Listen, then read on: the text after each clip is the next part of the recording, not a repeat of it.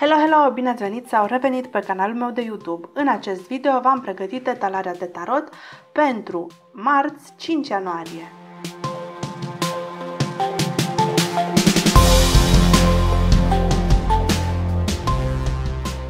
Hai să vedem pentru această zi care sunt energiile pentru dragoste, sănătate, bani, carieră, situație financiară. Wow!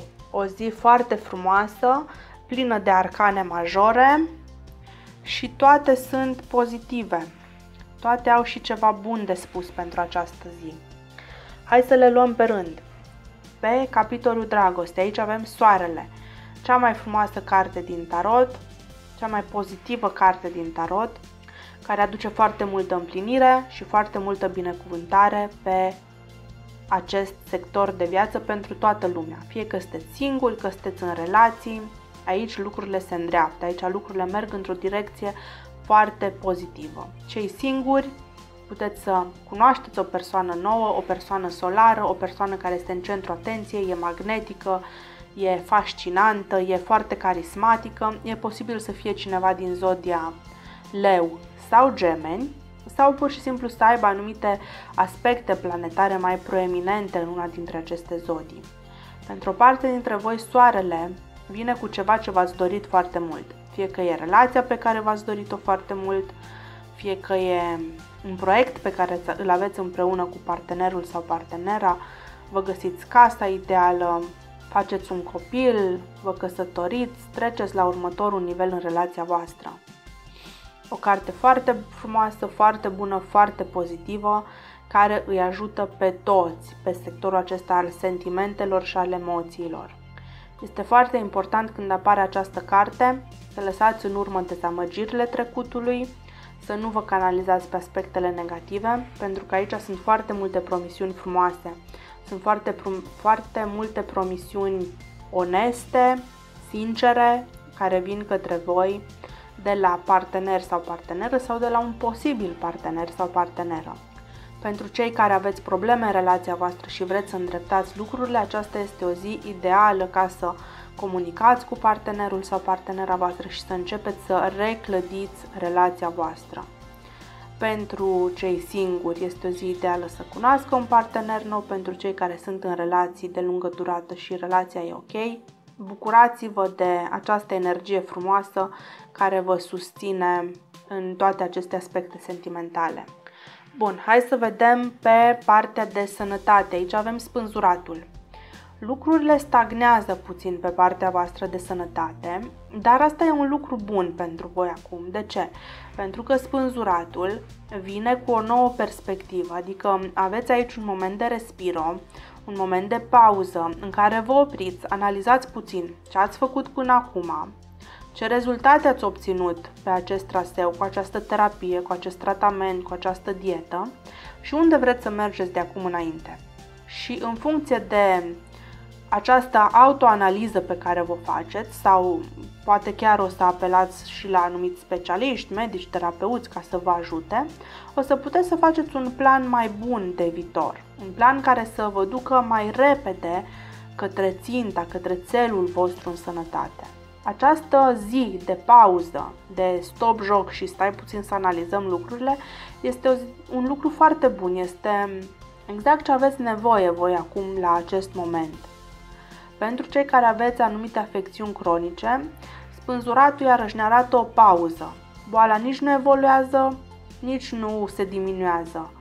Nici nu vă vindecați, dar nici nu vă este mai rău. E o zi în care lucrurile stagnează și cumva aveți un moment de respiro de la toată această boală. E posibil pentru o parte dintre voi, tocmai din cauza acestui soare care apare aici pe situația de dragoste sau acestor îndrăgostiți care apare aici pe situația de bancă, carieră, situație financiară, toate aceste lucruri pozitive, cumva să vă distragă atenția de la boala voastră, de la suferința voastră și fiind așa foarte ocupați cu lucruri foarte plăcute în alte domenii ale vieții, să uitați puțin de grijile și problemele pe care le aveți pe partea de sănătate.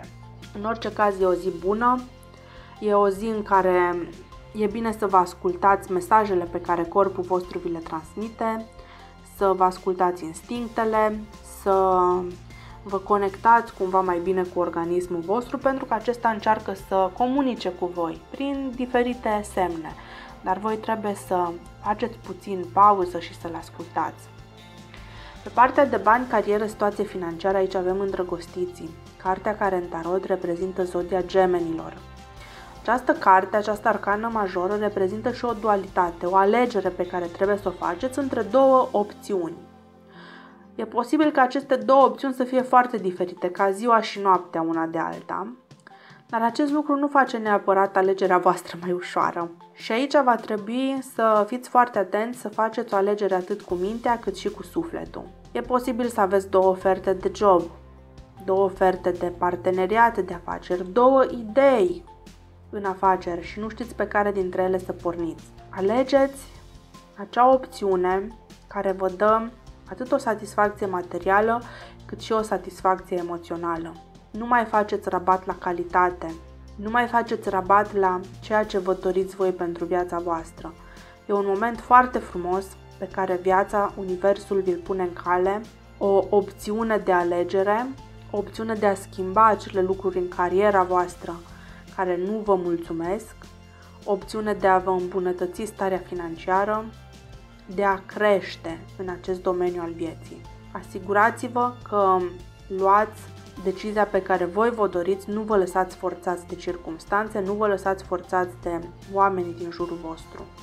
Bun, și înainte să finalizăm acest video, vreau să vă scot și o carte din aceste carturi de înțelepciune Până când amestec eu cărțile, vreau să vă reamintesc de etalările pentru anul 2021, care sunt deja pe site-ul meu, sunt făcute pentru fiecare zodie în parte, mă uit la fiecare lună acestui an și le analizez pe situația de dragoste, sănătate, bani, carieră, situație financiară. Linkul găsiți aici în colțul din dreapta sus, acolo sunt puse toate videourile, sunt cam 30 de minute pe fiecare zodie în parte, am făcut o analiză foarte detaliată, foarte atentă pentru fiecare zodie în parte. Bun, și acum să scoatem cartea pentru ziua de azi. Mă eliberez cu ușurință de trecut și am încredere în procesul vieții. Nu folosesc gunoiul mental de ieri ca să-mi creez experiențele de mâine. Creez gânduri noi și sănătoase și o viață nouă sănătoasă exact ceea ce vor să vă transmită toate aceste arcane majore. Eliberați-vă de trecut, pentru că aici aveți foarte multe lucruri bune, atât în dragoste, cât și în sănătate, cât și în carieră, în bani, în finanțe. Lăsați odată și pentru totdeauna în urmă tot gunoiul mental pe care îl cărați după voi, toate aceste bagaje, toate aceste greutăți din relații trecute, din joburi trecute, din bolile prin care ați trecut, lăsați-le în urmă lăsați amintirile negative în urmă. Da, păstrați lecțiile de viață.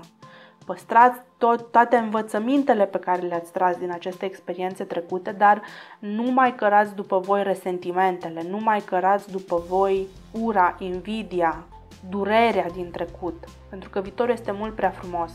Știți cum e la avion, când uh, îți iei bagajul după tine și dacă depășești uh, kilogramele limită trebuie să plătești în plus? Ei, așa sunteți și voi aici.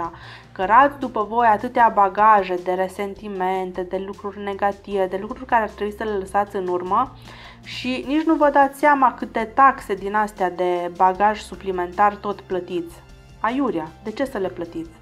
Lăsați-le în urmă. Mergeți în viitor doar cu un ghiozdan în spate și atât.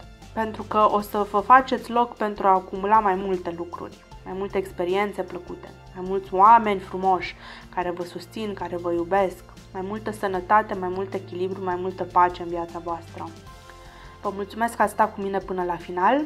Ne vedem și mâine. Pa, pa!